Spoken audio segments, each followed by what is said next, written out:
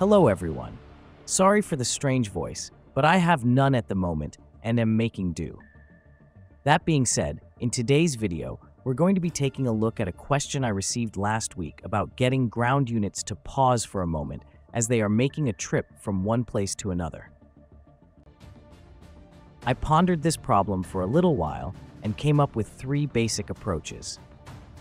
Using a set of speed-changed waypoints, using a mission which is something that will require a target to work easily, or using some kind of Lua scripting. Since Lua scripting isn't really something you can do in situ, I figured to go with the simplest method.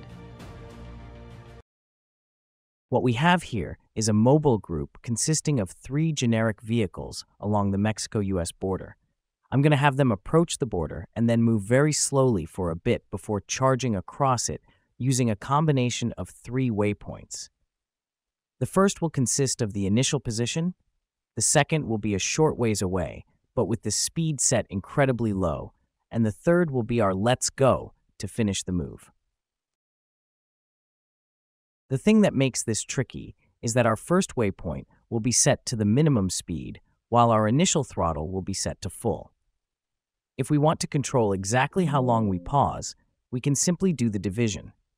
We can also make a little holding box for our folks to wait in if we don't want to travel very far. Many clever experts on modern warfare will point out that a moving ground unit is easier to detect than a still one. But the reality is that if you're detectable by something like an E-8 J-Star with its side-looking airborne radar, it won't matter if you're going fast or slow. As long as you're out there, it'll have little difficulty in finding you. Even the Fox Flat, Shompol, radar on a MiG-25 RBS can pick up a ground vehicle at a reasonable distance even if it is not moving.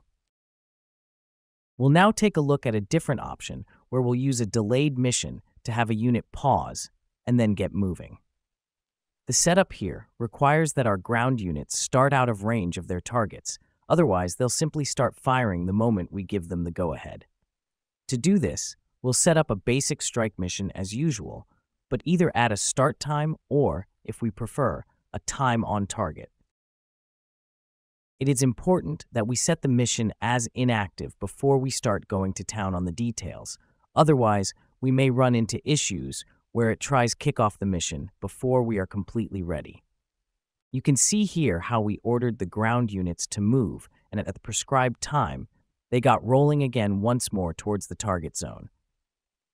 As you can see, the two methods work fairly well for a delayed move, and there is no real reason why you can't use this same method for the purposes of controlling submarines or ships. Aircraft are a little tougher, but the general principle remains the same. Other than that, enjoy and thanks for watching.